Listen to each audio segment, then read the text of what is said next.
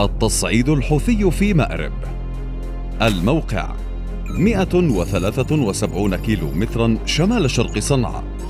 المساحة 17 ألف كيلو متر و405 أمتار مربعة عدد السكان مليون مدني نصفهم نازحون. محاور الهجوم الحوثي المحور الغربي جبهات صرواح الكسارة هيلان بني ضبيان المخدرة. محور الشمال الغربي الجدعان رحوم مدغن. المحور الجنوبي رحبة جبل مراد. المحور الشرقي جبهات العلم. الأهمية الاستراتيجية.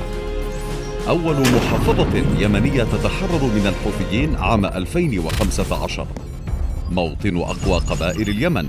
عبيدة مراد الجدعان بني جبر جهم بني عبد الشريف.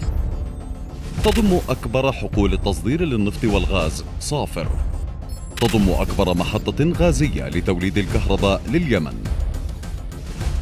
التصدي للهجوم الحوثي. قبائل مأرب. مقاتلات التحالف العربي. الجيش اليمني.